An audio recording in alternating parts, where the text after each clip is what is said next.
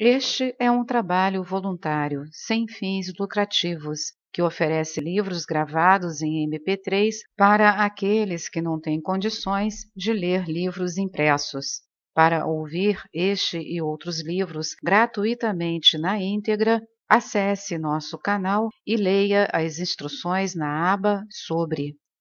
Este livro foi gravado para o uso exclusivo da pessoa com deficiência visual, não podendo ser comercializado de acordo com a Lei nº 9610, de 19 de fevereiro de 1998. Ao nos aproximarmos do meu corpo, ele instruiu novamente: Observai desaparecer o círculo de chama branca. Olhei, o círculo desapareceu. Um momento depois, eu estava de volta em meu corpo. O sol declinava e eu sabia que seria quase meia-noite quando chegássemos em casa. Ponde o meu braço em meu ombro e fechai os olhos, disse Saint Germain. Senti meu corpo levantar-se do solo, mas não tive consciência de me mover para a frente. Imediatamente, meus pés tocaram o chão e, abrindo os olhos, encontrei-me no chalé. Saint-Germain divertiu-se bastante quando lhe perguntei como nos fora possível voltar de tal maneira sem atrair a atenção das pessoas que nos rodeavam. Ele respondeu, aspas, muitas vezes nos rodeamos de um manto de invisibilidade quando nos movemos entre as pessoas que atuam no plano físico, fecha aspas, e então desapareceu. Eu tinha ouvido falar dos grandes mestres ascensionados, que podiam levar consigo o próprio corpo onde quer que fossem e manifestar ou trazer à visibilidade qualquer coisa que desejassem atrair diretamente do universo. Entretanto, experimentar contato real com um deles era coisa muito diferente e tentei compreender integralmente a maravilha da experiência. Para Saint-Germain, Tratava-se, evidentemente, da mais trivial ocorrência. Permaneci em contemplação silenciosa durante longo tempo, em profunda, profundíssima gratidão, procurando entender e assimilar completamente sua explanação da lei relativa ao desejo.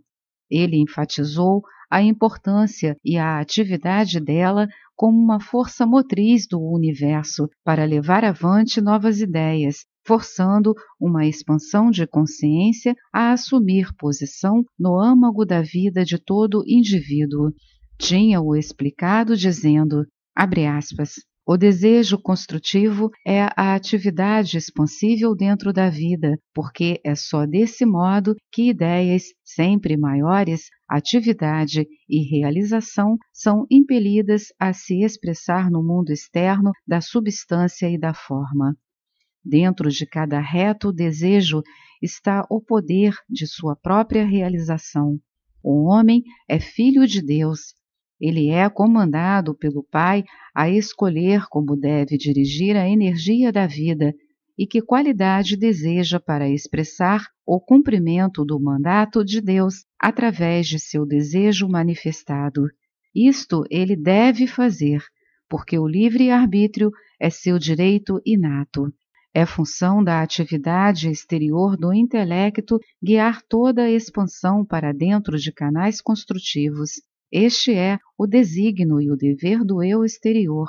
Permitir que a grande vida ou energia de Deus seja usada apenas para a satisfação dos sentidos, hábito da grande massa da humanidade, é o que constitui seu emprego destrutivo, que é sempre seguido, sem exceção alguma, de desarmonia, fraqueza, fracasso e destruição.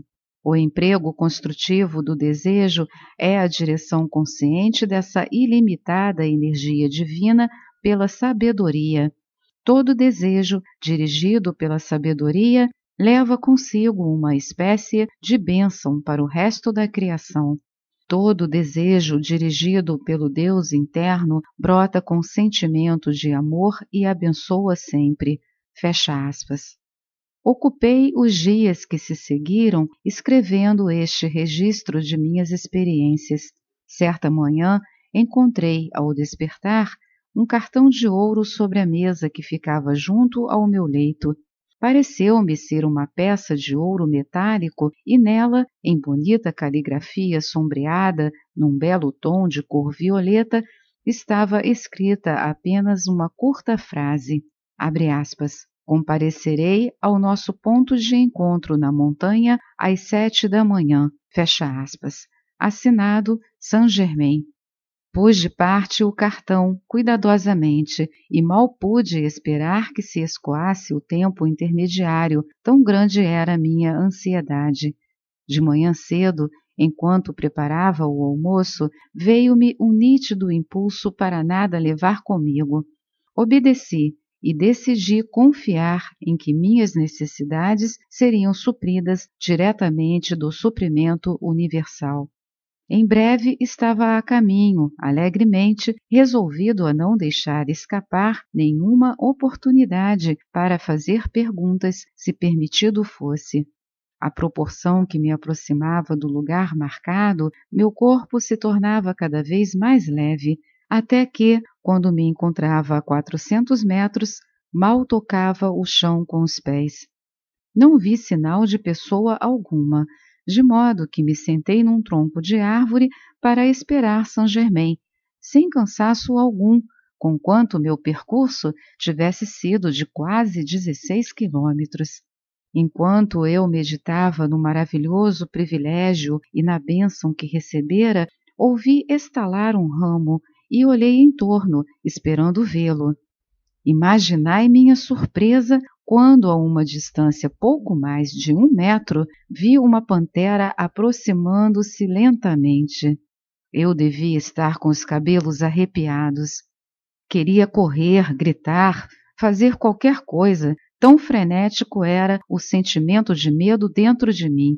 Teria sido inútil mover-me, pois um salto da pantera ter-me-ia sido fatal. Meu cérebro rodopiava, tão grande era o meu pavor mas uma ideia me veio claramente que manteve serena minha atenção.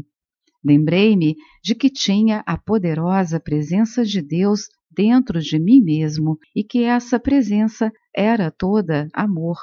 Esse belo animal era também uma parte da vida de Deus e me dispus a olhar para ele diretamente dentro dos olhos. Então me veio o pensamento de que uma parte de Deus não poderia prejudicar outra. Só tive consciência desse fato. Um sentimento de amor me arrebatou e saiu como um raio de luz diretamente à pantera. Com ele foi-se o meu medo. Os passos furtivos cessaram e encaminhei-me lentamente para o animal, sentindo que o amor de Deus nos enchia a ambos. O repulsivo olhar feroz dos seus olhos suavizou-se. O animal endireitou-se e veio vagarosamente ao meu encontro, esfregando a espádua contra minha perna. Inclinei-me e afaguei sua cabeça macia.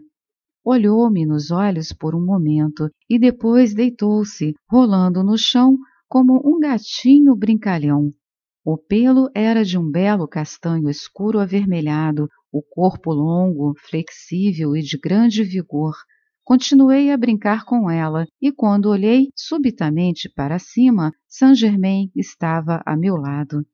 Ele me disse, aspas, meu filho, vi a grande força que há dentro de vós. De outro modo, eu não teria permitido tamanha prova. Conquistastes o medo. Minhas felicitações. Se não tivesses conquistado o eu exterior, não permitiria que a pantera vos causasse mal, mas nossa associação seria interrompida por algum tempo. Nada tenho a ver com a presença da pantera aqui. Isso fazia parte da operação interna da grande lei, como vereis antes de cessar a ligação com a vossa nova amiga que encontrastes. Agora que passastes pela prova da coragem, ser-me-á possível prestar-vos muito maior assistência, tornar-vos-eis cada dia mais forte, mais feliz e expressareis muito maior liberdade. Fecha aspas. Estendeu a mão e num momento apareceram quatro pequenos bolos de um belo pardo dourado com cerca de doze centímetros quadrados cada um. Ele ofereceu-me e ordenou que os comesse. Eram deliciosos. Imediatamente experimentei uma sensação aceleradora, formigante, percorrer todo o meu corpo, sensação nova de saúde e de clareza mental. Saint Germain sentou-se a meu lado e minha instrução começou. Esta é mais uma edição do canal Livros Falados Voz Humana. Que o bem, o bom e o belo se multipliquem em benefício das criaturas.